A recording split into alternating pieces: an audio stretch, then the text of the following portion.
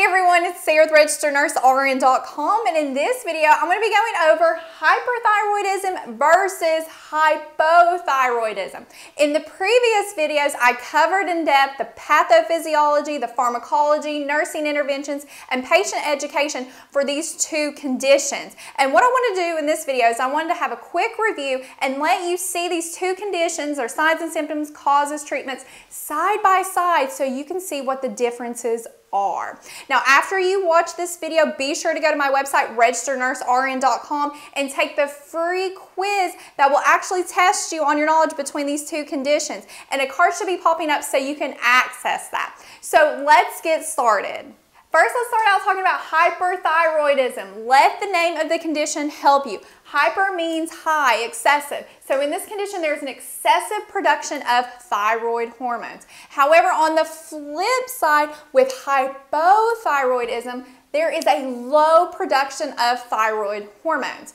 What do thyroid hormones do? They play a vital role in how fast you burn food, stimulates your sympathetic nervous system, which is responsible for your reflexes, your reaction time, how fast food travels through our digestive system, increases your heart rate, your blood pressure, and your temperature. And if you have too much of this going on, you're going to have everything at an accelerated rate. So you're going to have a super fast heart rate, super high blood pressure. However, if you have not a lot, you're going to have a slow heart rate, low temperature, things like that.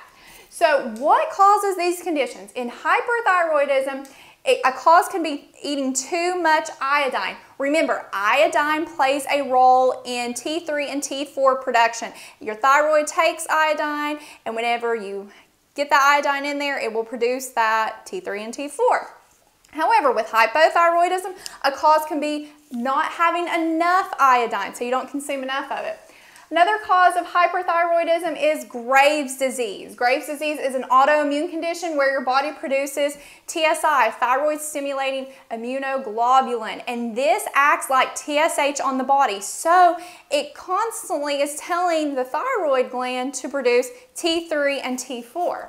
Another cause is toxic nodular Goiter, also known as TNG. This is where nodular growths produce excessive thyroid hormones. Another cause is thyroid replacement medication. Say you're taking too much Synthroid, you get toxic. It will flip you into hyperthyroidism. Now hypo, another cause is Hashimoto's disease. This is an autoimmune condition as well, but it's different than Graves'. And this is where the body attacks the thyroid gland, so it damages it. So thyroid gland doesn't work anymore and you don't have any thyroid hormone being produced. Another cause is taking too much anti-thyroid medications, um, urine toxicity like PTU or Tapazole. Another cause, maybe they have a pituitary tumor, and this would stop your anterior pituitary gland from releasing TSH. And whenever that's not releasing TSH, your thyroid gland isn't going to be stimulated to produce T3 and T4. Now, what are the life-threatening complications in these conditions? In hyperthyroidism, if it's not treated properly, they can enter into thyroid storm, which we covered that in another video in detail. So if you want to watch that video, you can access the card and you can watch that video. What's the life-threatening complication if hypothyroidism isn't treated? Myxedema coma, and we talked about that in depth, and you can access that in a card to watch the whole patho nursing interventions about that. So how do these patients look? What um, are they going to look like with hyper and hypothyroidism? They are going to be the complete opposite of each other. So if you see one symptom, look at what the opposite of that symptom would be, and it's going to be that condition. So let's look at it. Okay, signs and symptoms of hyperthyroidism. Here you're going to have weight loss because you're burning calories at an excessive rate. Remember, T3 and T4 play a role in that. They're going to have heat intolerance, so they're going to be sweaty. They're going to have a goiter. This is very common in Graves' disease from the thyroid gland being overstimulated, it starts to swell. And this is also present, goiter can be present in hypothyroidism as well.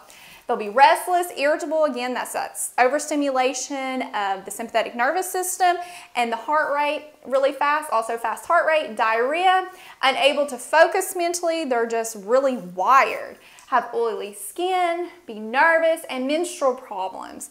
Now let's flip it over and see what they look like in hypothyroidism. they're going to have weight gain because they're not burning calories very fast.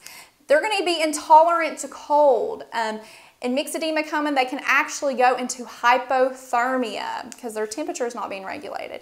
They can have a possible goiter, and this is prevalent in Hashimoto's disease. And this is just due to the um, Oh, the stimulation of the thyroid gland just being stimulated constantly and it's just not working. So it starts to swell. They can be extremely tired, fatigued, have a slow heart rate, constipation, memory loss, myxedema, which is a waxy appearance of swelling on of the skin, especially in the face and the eyes. They'll have dry skin, depression, and menstrual problems. Now, what is the treatment for these two conditions? Okay, for hyperthyroidism treatment, what are we gonna do? We have a problem with too much thyroid hormone. So what would we do? We would want to give them anti-thyroid medications to decrease those levels. Common ones prescribed, Tapazole, also known as methimazole, PTU, also called propylthiouracil, iodide solutions like Lugol solution. Another thing usually prescribed are beta blockers, such as Inderal. Why are beta blockers prescribed? To help with those signs and symptoms that's going on with this patient. They have a fast heart rate, they'll have a high blood pressure, they'll be sweaty, and that'll help decrease that. Another thing is they may be um, prescribed radioactive iodine therapy, and remember that goes back to how your thyroid gland takes thyroid, I mean takes iodine and produces T3 and T4. So whenever they take this, usually in a capsule, this is special iodine. It's radioactive, so it's going to go there and destroy the thyroid gland. And also a thyroidectomy, which is removal of the thyroid gland. And these patients, remember this, for hyperthyroidism, avoid salicylates and food slash supplements with iodine because this increases thyroid hormones and we don't want to increase thyroid hormones in this condition. Now, what are the treatments for hypothyroidism? Um, problem is we don't have enough thyroid hormone, so we're going to give them some thyroid hormone. Typically, Synthroid is the most popular. It's a thyroid replacement hormone. Um, with these patients, you want to avoid sedatives and narcotics because they were very sensitive to them and it can actually send them into myxedema coma. So watch those medications. Okay, so that is about hyper and hypothyroidism. Now go take that quiz on my website, registerednursern.com and check out the whole NCLEX review series on the thyroid. And thank you so much for watching and please consider subscribing to this YouTube channel.